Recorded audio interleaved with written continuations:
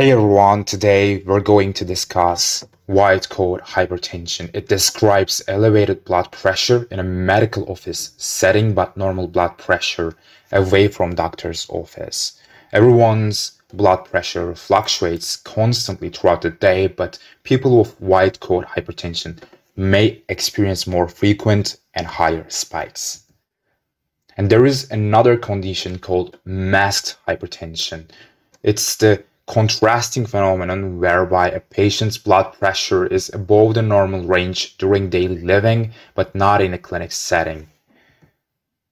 For white coat hypertension, antihypertensive medications are not recommended. However, patients with the condition should have their blood pressure closely monitored in the outpatient setting. Thanks for watching. Don't forget to watch our folate deficiency signs video. Don't forget to like, share this video and subscribe to the channel. See you later.